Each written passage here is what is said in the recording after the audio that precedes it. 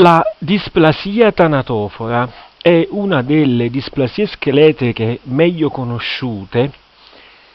in quanto è, quella, è una di quelle che per la gravità del difetto può essere più facilmente riconosciuta nella vita fetale. Vi presento eh, un caso di una gravidanza gemellare bicoriale biamniotica in cui abbiamo un feto assolutamente normale, quello che abbiamo chiamato eh, feto destro, mentre eh, nel feto di sinistra eh, vedremo una displasia scheletrica severa, molto probabilmente la displasia tanatofora. Eh, il motivo per il quale eh, noi vogliamo portare all'attenzione questo caso è duplice. Innanzitutto eh, perché si tratta di una gravidanza gemellare e noi sappiamo che la, la, possibilità che si verifichi un'anomalia malformativa o un'anomalia nel decorso della gestazione in termini di preeclampsia o di disturbi materni è decisamente superiore nella gravidanza gemellare rispetto alla gravidanza singola e se anche se qui si tratta di una gravidanza bicoriale biamniotica, il rischio malformativo per questa gravidanza ovviamente deve essere moltiplicato per due rispetto alla gravidanza singola. L'altro motivo per il quale noi vogliamo eh, sottolineare l'importanza di questo caso è perché eh, questo tipo di displasia eh, tanatofora ci consente di fare la differenziazione fra i due sottotipi quella nella quale vi è una morfologia del cranio fortemente eh, anomala, quella che viene chiamato cranio a trifoglio, e nel quale però eh, manca l'aspetto più tipico relativamente agli arti, cioè eh, la, eh, il femore a cornetta di telefono, rispetto appunto a quella in cui il femore è fortemente incurvato e invece la morfologia cranica è sostanzialmente normale. Vedremo che eh, ovviamente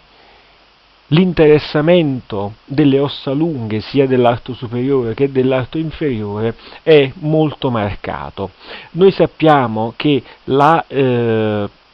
per poter parlare di patologia nel campo delle malattie dello scheletro è necessario che la biometria delle ossa lunghe sia al di sotto del terzo percentile, non del quinto, come invece avviene normalmente eh, nelle altre patologie. E abbiamo già accennato che nella displasia tanatofora si distinguono due tipi, eh, due sottotipi eh, di malattia, in uno avremo eh, il caso che vi presentiamo, un femore sostanzialmente poco incurvato, quasi dritto, ma una morfologia cranica fortemente alterata, mentre in un altro sottotipo che non vedremo ovviamente in questo, in questo video eh, vi è una maggiore, una più marcata curvatura del, delle ossa lunghe in particolare del femore ma una morfologia eh, cranica sostanzialmente normale. Come nella quasi totalità delle displasie scheletriche in forma eh, più o meno grave sia la eh, riduzione della biometria del torace, in questo caso la, eh, la riduzione non è molto marcata, non rappresenta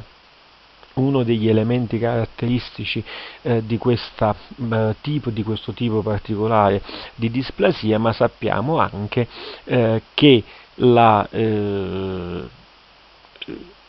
nella quasi totalità dei casi nel, delle displasie scheletriche nel momento in cui noi abbiamo una riduzione della biometria del torace per riduzione spesso delle coste quasi sempre osserveremo in questi feti una cardiomegalia che ovviamente è riferita ad una cardiomegalia relativa poiché è il torace, è il contenitore che è piccolo e non già eh, il cuore più grande rispetto alla norma. Un altro aspetto che noi eh, dobbiamo assolutamente sempre tenere conto è che eh, in qualunque tipo di eh, alterazione morfologica di un feto, è sempre utile eh, la raccomandazione di una consulenza genetica. In questo caso è particolarmente utile perché? Per due motivi, innanzitutto perché si conosce il locus genico della mutazione della displasia tanatofora e quindi avere la diagnosi di certezza, sapete che è una patologia non ripetibile in quanto incompatibile con la vita ed è autosomica dominante, e questo è il motivo per cui non c'è un rischio di ripetibilità, ma anche perché alla paziente deve, devono essere forniti tutti quegli strumenti eh, per poter stabilire, soprattutto in questo caso, cioè nel caso in cui ci troviamo di fronte a una gravidanza gemellare, qual è la condotta ostetrica più appropriata. Qui vedete le biometrie, questo si riferisce al feto sano, vedete arti assolutamente normali, eh, nel range di percentili eh, normalissimi, addirittura al di sopra del cinquantesimo. Questo invece è la tabella biometrica del feto coinvolto dal difetto, dove vedete eh, che particolarmente eh, tutti i segmenti delle ossa lunghe sono coinvolti ed in particolare vedete come il femore addirittura sia al di sotto del primo percentile. In via eh, collaterale si segnala che era presente anche un edema nucale, vedete qui abbiamo una plica che era eh, di circa poco sotto i 5 mm e anche questo può essere un riscontro piuttosto frequente nel caso di malattie severe dello scheletro. Qui eh, vedete la scheda tratta da Orphanet eh, nella quale vengono un poco riassunti tutti i punti salienti che abbiamo già trattato, e cioè dell'esistenza dei due sottotipi clinici di displasia tanatofora, e l'altro aspetto che è stato appena accennato quando abbiamo fatto riferimento alla consulenza genetica è il fatto che si conosce il locus eh, sul recettore 3 del fattore di crescita dei fibroblasti responsabile del difetto e che pertanto eh, deve essere ricercato lì dove vi sia il forte sospetto di una displasia tanatofora. Sappiamo che eh, l'incidenza eh, è di 1 su 20.000, 1 a 50.000 con un, eh, ma, con una maggiore frequenza del tipo 1, cioè quella in cui vi è un maggiore incurvamento del femore e eh, minore alterazione della morfologia del cranio rispetto al tipo 2 che vedete eh, nel nostro filmato. Sappiamo benissimo che eh, la displasia tanatofora è detta tale in quanto incompatibile eh, con la vita Infatti questi neonati, eh, quelli che arrivano alla nascita, du- eh, vivono pochissime ore per poi purtroppo eh, andare incontro all'exitus. Questo è relativo al caso che voi andrete a vedere, è stato eseguito eh, eh, studio amniocentesi su entrambi i feti e in quello affetto da displasia scheletrica si è andato a ricercare la mutazione, avete visto, eh, avevamo già detto inizialmente che eh, la ricerca della mutazione specifica ha poi confermato la presenza di un nanismo tanatoforo che, come abbiamo detto nel nostro caso, è quello di tipo 2. Gentile collega, voglio mostrarti il caso di una gravidanza gemellare bicoriale biamniotica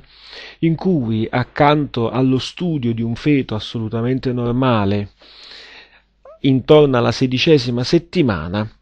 eh, mostrerò invece un feto affetto da una displasia scheletrica. Eh, queste prime immagini relative al feto sano vogliono soltanto mettere in evidenza il fatto che ci troviamo di fronte ad un feto il, le, la cui biometria delle ossa lunghe risulta perfettamente nella norma. Adesso però voglio condurre l'iter diagnostico eh, insieme a voi, così come eh, lo facciamo noi in tempo reale. La prima cosa che noi notiamo nel, mentre eh, studiamo eh, il sistema nervoso centrale è che ci sono due elementi in questa testa che noi dobbiamo tenere in considerazione. Uno è che è una testa di dimensioni superiori rispetto all'epoca gestazionale e quindi una macrocrania, ma soprattutto hai notato, hai visto che abbiamo scritto lì in alto che la forma di questa testa non ci convinceva e hai notato che in questa seconda proiezione ancora una volta l'aspetto a trifoglio è l'aspetto caratteristico del, eh, dell'estremo encefalico di questo, di questo feto. Noti come vi sia un edema retronucale abbastanza importante, siamo oltre i 4 mm, qui risulta intorno ai 4,2 esattamente, e quindi cominciamo adesso a eh, pensare quali possono essere le eh, alterazioni nelle quali eh, vi sono le anomalie che stiamo andando a descrivere. Ecco invece l'aspetto che noi eh, più teniamo in considerazione nel poter fare la diagnosi in questo, in questo caso. Hai visto che la, gli arti inferiori, ed in particolare abbiamo visto il femore, ma poi vedremo la gamba, sono talmente piccoli a 16 settimane che siamo quasi ai limiti eh, di un arto eh, misurabile. Guarda questa gamba, eh, i, Malgrado siano presenti entrambi i segmenti e sono stati ben identificati, visto in quell'immagine, sia la tibia che la fibula, hai notato che siamo an, ad una biometria che sta tra i 7 e gli 8 mm, quindi veramente molto molto piccolo rispetto a quello che ci sarebbe atteso per le 15 eh, settimane e mezzo dell'epoca reale. Cosa invece strana che vedi in questo caso è che il piede appare eh, sostanzialmente grossolanamente normale sia dal punto di vista della morfologia e come vedrai de, da qui a qualche istante anche per quanto riguarda la biometria. Piedi dritti, li vedi qua entrambi uno accanto all'altro, con biometria eh, tutto sommato soltanto di qualche giorno inferiore rispetto invece agli arti inferiori che abbiamo visto essere estremamente corti. Passiamo adesso allo studio dell'arto superiore. Guarda con attenzione quest'omero, è un omero sostanzialmente dritto che ha una biometria inferiore a 10 mm. Ancora, guarda l'avambraccio, qui vedi il, la misurazione del radio che invece è al di sotto dei 7 mm, siamo intorno ai 6 mm e mezzo. Ovviamente, quando ci troviamo di fronte a un arto in, in cui il segmento osseo è così eh, raccorciato, i tessuti molli che si troveranno nei, intorno all'osso appaiono ovviamente ridondanti.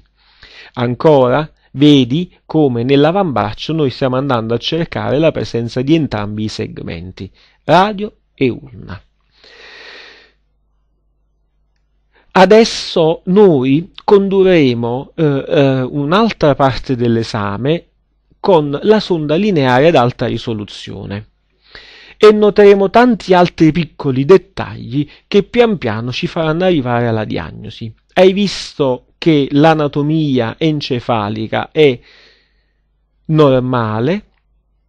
vedi che eh, questo tipo eh, di approccio, quindi con la sonda ad alta risoluzione, ci consente già a 15 settimane di identificare in maniera chiara il terzo ventricolo che appariva normale.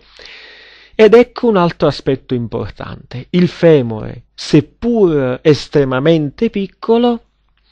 è poco curvo. Quel femore lo definirei quasi un femore dritto. Allora ecco che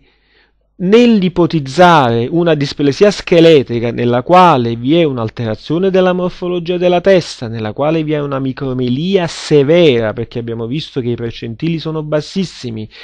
e nella quale noi riscontriamo anche la presenza di tutti i segmenti ossei, seppur molto corti, e di un femore che soltanto in questa proiezione appare eh, curvato, anche se non in maniera severa, ecco che eh, cominciamo, cominciamo ad ipotizzare che ci possiamo trovare di fronte ad una displasia tanatofora di tipo 2, cioè una, dis- una displasia nella quale abbiamo una maggiore eh, alterazione della morfologia del cranio e dove invece l'incurvamento eh, del, del, del, femore che rappresenterebbe l'elemento caratteristico della displasia tanatofora è invece molto meno marcato. Ancora, vedi, noi eh, quando do- mm, dobbiamo caratterizzare una eh, displasia scheletrica abbiamo l'assoluta necessità di andare a identificare tutti i segmenti. Vedi che noi andiamo a cercare per ciascun lato tutti i segmenti delle ossa lunghe per cercare ovviamente di arrivare eh, nella, nel modo migliore a quella che può essere l'ipotesi diagnostica più accreditabile vedi ancora eh, le immagini relative allo studio di questo feto, noterai che c'è dell'edema anche a livello toracico, non solo a livello retronucale, ma anche questo è legato al fatto che essendoci un torace un po' più stretto vi è una eh, ridondanza dei tessuti, vedi ancora un omero corto ma un omero eh, dritto, lo vedi benissimo in queste immagini per cui eh, ormai siamo, eh, abbiamo formulato eh, l'ipotesi diagnostica di una displasia tanatofora di tipo 2. Ovviamente abbiamo già in sede di presentazione del caso parlato dell'importanza della eh, consulenza genetica, però eh, ricordiamo sempre eh, che eh, per poter formulare una diagnosi certa di displasia scheletrica è estremamente importante eh, riuscire a reperire il, eh, delle indagini eh, sul feto, come ad esempio la radiografia di alcuni segmenti, oltre che delle ossa, anche delle vertebre o anche delle coste, che ci possano consentire la diagnosi certa del caso che noi stiamo andando a identificare. Io vi ringrazio.